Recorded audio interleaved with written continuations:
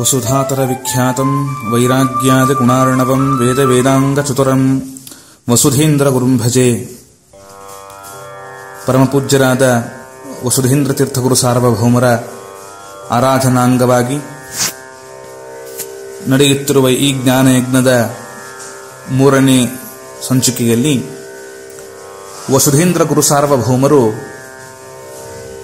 ವಿರಾಜಮಾನರಾದ ಆ ಕ್ಷೇತ್ರ ಕೆಂಚನಗುಡ್ಡ ಜ್ಞಾನಿಗಳು ಏಕಾಂತವಾಸವನ್ನು ಬಗೆಸಿ ಭಗವತ್ ಪಾದಾರಾಧನೆಯನ್ನು ಮಾಡತಕ್ಕಂಥದ್ದು ಅದೊಂದು ವಿಶಿಷ್ಟವಾಗಿರತಕ್ಕಂತಹ ಧರ್ಮ.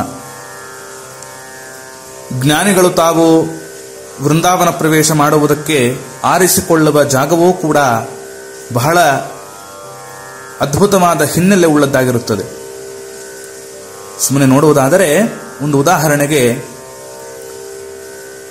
ಕಲಿಯುಗದ ಕಲ್ಪತರು ಕಾಮಧೇನುಗಳಾಗಿರತಕ್ಕಂತಹ ರಾಘವೇಂದ್ರ ಗುರು ಸಾರ್ವಭೌಮರು ತಾವು ವೃಂದಾವನ ಪ್ರವೇಶ ಮಾಡಿಕೊಳ್ಳುವುದಕ್ಕೆ, ಮಾಡುವುದಕ್ಕೆ ಸಶರೀರ ವೃಂದಾವನ ಪ್ರವೇಶ ಮಾಡುವುದಕ್ಕೆ ಆರಿಸಿಕೊಂಡ ಜಾಗ ಅದು ಮಂತ್ರಾಲಯ ಕ್ಷೇತ್ರ. ಪ್ರಹ್ಲಾದ ರಾಜರು ಯಜ್ಞ ಮಾಡಿದ ಸ್ಥಳ. ಸಾಕ್ಷಾತ್ ಶ್ರೀರಾಮಚಂದ್ರ ದೇವರು ಸ್ಪರ್ಶ ಮಾಡಿದ ಶಿಲೆ, ಓಡಾಡಿದ ಜಾಗ. ಇಂತಹ ಅದ್ಭುತವಾದ ಕ್ಷೇತ್ರವನ್ನ ಮಂಚಾಲಯ ಪ್ರಭುಗಳು, ಮಂತ್ರಾಲಯ ಪ್ರಭುಗಳು ಅದನ್ನು ಆರಿಸಿಕೊಳ್ತಕ್ಕವರಾದರು ಹೀಗೆ ಒಂದು ಕ್ಷೇತ್ರವನ್ನ, ಒಂದು ತೀರ್ಥವನ್ನ ಜ್ಞಾನಿಗಳು ಸೇವಿಸುವುದರ ಹಿನ್ನೆಲೆಯೂ ಕೂಡ ಬಹಳ ಮಹತ್ವದ್ದಾಗಿರುತ್ತದೆ. ಅದರಂತೆ ಇವತ್ತು ನಮ್ಮ ಆರಾಧನಾ ಕಥಾನಾಯಕರಾದ ಶ್ರೀ ವಸುಧೇಂದ್ರ ತೀರ್ಥ ಗುರು ಸಾರ್ವಭೌಮರು ಕೂಡ ಆರಿಸಿಕೊಂಡ ಜಾಗ ಬಹಳ ವಿಶಿಷ್ಟವಾದದ್ದು. ನಾವು ತೀರ್ಥಯಾತ್ರೆಯನ್ನು ಮಾಡ್ತೇವೆ. ಆ ಕ್ಷೇತ್ರದ ಮಹಾತ್ಮೆಯನ್ನ ತಿಳಿದು ಮಾಡಿದಾಗ ಅದರ ಫಲ ಇಮ್ಮಡಿಯಾಗಿ ನಮಗೆ ಬರುತ್ತದೆ. ಆದ್ದರಿಂದ ವಸುಧೀಂದ್ರ ತೀರ್ಥರು ತುಂಗಭದ್ರಾ ತೀರವನ್ನು ಆಶ್ರಯಿಸಿಕೊಂಡರು. ಜಗನ್ನಾಥದಾಸರ ಮಾತಿನಲ್ಲೇ ಕೇಳಬೇಕು. ಅವರಂತಾರೆ, ವರಹತನಯ ತೀರ, ಮಂಗಲಂ ಗುರು ವಸುಧೀಂದ್ರಗೆ, ಜಯಮಂಗಲಂ ಕಲ್ಯಾಣ ಸಾಂದ್ರಗೆ ಎನ್ನುವ ಕೃತಿಯಲ್ಲಿ ಜಗನ್ನಾಥದಾಸರು ಮಹಾಪ್ರಭುಗಳು ಮಾನವೀ ದಾಸರು, ಶಲ್ಯ ಮಹಾರಾಜ, ಸಲ್ಹಾದ ರಾಜರು ಅಂತ ಏನು ಪೂರ್ವಜನ್ಮದಲ್ಲಿ ಪ್ರಸಿದ್ಧರಾಗಿರತಕ್ಕವರಾಗಿದ್ದಾರೆ. ಅಂತಹ ಮಹಾಪ್ರಭುಗಳಾದ ಹರಿಕಥಾಮೃತಸಾರ ಕರ್ತೃಗಳಾದ ಜಗನ್ನಾಥದಾಸರಂತಾರೆ. ವಸುಧೇಂದ್ರ ತೀರ್ಥರು ಆರಿಸಿಕೊಂಡ ಜಾಗ ವರಾಹ ತನಯ ತೀರ. ತುಂಗಭದ್ರಾ ನದಿ ತೀರ.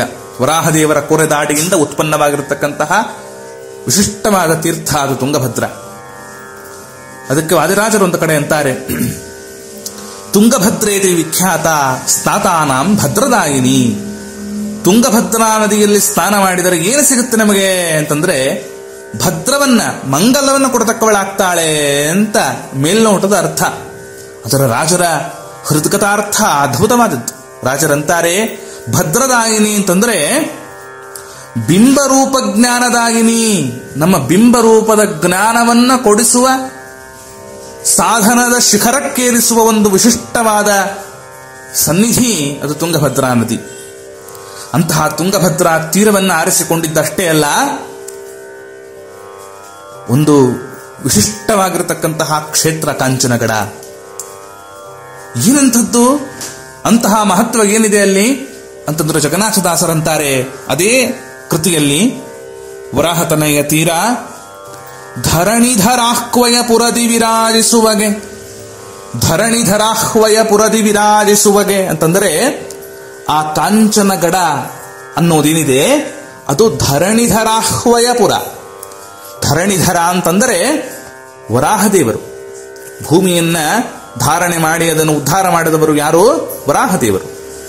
ಆದ್ದರಿಂದ ದಯವಿರಲಿ ದಯವಿರಲಿ, ಧರಣಿ ಧರಣಿ ಅಂತ ದಾಸರು ಅನ್ಯತ್ರದಲ್ಲಿ ಪ್ರಯೋಗ ಮಾಡಿದ್ದನ್ನು ನೋಡಿದ್ದೇವೆ. ಆದ್ದರಿಂದ ಧರಣಿಧರ ಅಂದ್ರೆ ವರಾಹ.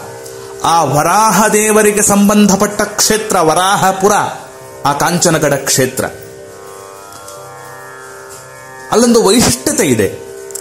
ಅದು ವರಾಹ ದೇವರಿಗೆ ಸಂಬಂಧಪಟ್ಟ ಕ್ಷೇತ್ರವಾದ್ದರಿಂದಲೇನೆ ವಸುಧೇಂದ್ರ ತೀರ್ಥರು ಆ ಜಾಗವನ್ನು ಆರಿಸಿಕೊಂಡರು.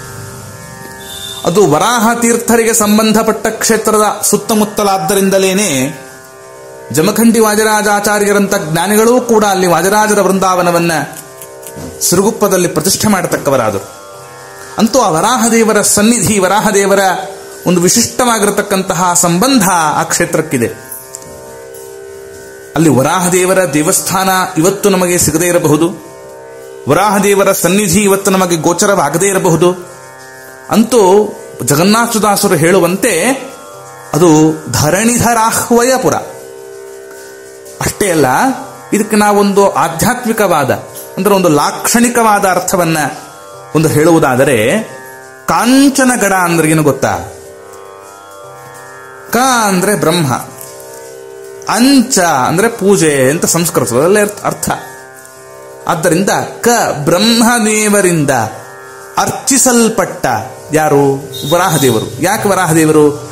ಬ್ರಹ್ಮದೇವರು ಇವತ್ತು ಆ ಯಾವ ಧಾನದಲ್ಲಿ ಕುಳಿತಾಗ ತಮ್ಮ ಮೂಗಿನ ಹೊಳ್ಳೆಯಿಂದ ಆದಿಹಿರಣ್ಯಾಕ್ಷನ ಸಂಹಾರ ಮಾಡುವುದಕ್ಕೆ ಬ್ರಹ್ಮದೇವರ ಮೂಗಿನ ಹೊಳ್ಳೆಯಿಂದ ವರಾಹರೂಪನಾಗಿ ಭಗವಂತ ಪ್ರಾದುರ್ಭೂತಗೊಂಡ. ಅವನನ್ನ ಬ್ರಹ್ಮದೇವರು ಅರ್ಚನೆ ಮಾಡಿದರು. ಆದ್ದರಿಂದ ಬ್ರಹ್ಮ ಕ ಅಂದ್ರೆ ಬ್ರಹ್ಮ. ಬ್ರಹ್ಮದೇವನಿಂದ ಅಂಚಿಸಲ್ಪಟ್ಟವನು ಪೂಜಿಸಲ್ಪಟ್ಟವನು ಆದ್ದರಿಂದ ಕಾಂಚನ ಅಂದ್ರೆ ವರಾಹ ಅಂತನ್ನುವ ಅರ್ಥವಾಗತ್ತೆ. ಆದ್ದರಿಂದ ಕಾಂಚನಗಡ ವರಾಹದೇವರ ಪುರ ಅಂತನ್ನುವ ಜಗನ್ನಾಥದಾಸರ ಮಾತು ಲಾಕ್ಷಣಿಕವಾಗಿ ನಮಗೆ ಅದ್ಭುತವಾಗಿ ಕೂಡಿಬರುತ್ತದೆ ನಮಗೆ ಅಲ್ಲಿನ ಒಂದು ಸಂಜ್ಞಾ ರೂಪದಿಂದ ಚಿಹ್ನೆಯ ರೂಪದಿಂದ ಏನಾದರೂ ವರಾಹದೇವರ ಆ, ಒಂದು ಸನ್ನಿಧಿ ಸಿಕ್ಕರೆ ಬಹಳ ಭಾಗ್ಯಶಾಲಿಗಳಾಗ್ತೇವೆ. ಅದರ ಹಿನ್ನೆಲೆ ಬಹಳ ಮಹತ್ತದ್ವಾಗಿರುತ್ತದೆ ಅಲ್ಲಿ ಅದು ಸಿಗುವವರೆಗೂ ಕೂಡ ನಾವು ಆ ಕ್ಷೇತ್ರದ ಒಂದು ಲಾಕ್ಷಣಿಕ ಅರ್ಥವನ್ನು ನೋಡಿದಾಗಲೂ ಕೂಡ ಅದು ವರಾಹ ದೇವರಿಗೆ ಸಂಬಂಧಪಟ್ಟ ಕ್ಷೇತ್ರ. ಕಾಂಚನಗಡ, ಅದು ಧರಣಿಧರಾಹ್ವಯಪುರ ಎಂಬುದಾಗಿ ನಮ್ಮ ಜಗನ್ನಾಥದಾಸರು ಕೊಂಡಾಡಿದ್ದಾರೆ. ಇಂತಹ ಅಪರೂಪದ ಮಾಹಿತಿಯನ್ನು ಕೊಟ್ಟ ವರದೇಂದ್ರ ತೀರ್ಥರ ಕೃಪಾಪಾತ್ರದ ಕೃಪಾಪಾತ್ರರಾದ ವರದೇಂದ್ರ ತೀರ್ಥರ ವಿದ್ಯಾಶಿಷ್ಯರಾದ ನಮ್ಮ ಜಗನ್ನಾಥ ದಾಸರ ಅಡಿದಾಬರಗಳಲ್ಲಿ ಸಾಷ್ಟಾಂಗ ನಮಸ್ಕಾರಗಳನ್ನು ಮಾಡುತ್ತಾ, ಇವತ್ತಿನ ಈ ಒಂದು ವಿಷಯವನ್ನ ವಸುಧೇಂದ್ರ ತೀರ್ಥರ ಗುರುಸಾರ್ವಭೌಮರ ಅಂತರ್ಯಾಮಿಯಾಗಿರತಕ್ಕಂತಹ ಆ ಭಗವಂತನಿಗೆ ಸಮರ್ಪಣೆ ಮಾಡ್ತೇನೆ ಶ್ರೀಕೃಷ್ಣಾರ್ಪಣಮಸ್ತು.